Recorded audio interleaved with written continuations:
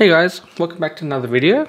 Today we're going to take a look at why your phone is slow or has a delayed response, touchscreen response on your iOS 18. So, for, so if you notice, I'm trying to swipe very fast and it's, it's quite slow. Alright, there are a few reasons. It could be touch uh, accommodations or maybe you have low power mode on. So you can see it's pretty laggy. Alright, or it could be if you have recently changed your screen and we'll take you we'll take a look at how you can try to um, solve these issues. So first it's a step, you can go to, into settings. So if it's a bit laggy, just give it a little time for the screen to respond.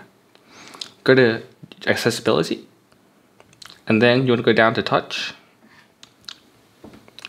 and then you're gonna go to touch accommodations and right here it is usually this setting that might have been accidentally turned on. So turn that off. You can see the screen is quite responsive now.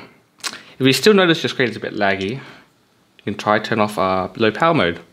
That could be one of the causes because low power mode uses a lower fr uh, frame rate. So you turn that off. It seems to be quite a bit faster now. Another issue, if you notice your apps are a bit uh, uh, slow, you can try turn off reduce motion. For here, go to accessibility. And then you want to scroll up and find a motion.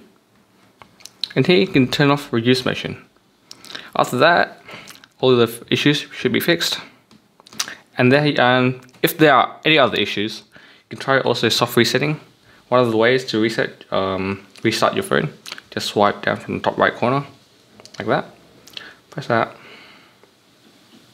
And just slide to uh, reset your phone if, uh, if that still doesn't work, you can try hard resetting your phone or factory resetting, which is in the settings. And that will just reset your whole device, which could be the cause. But that is all I have. Thank you for watching this video. Please make sure to like and subscribe for more videos.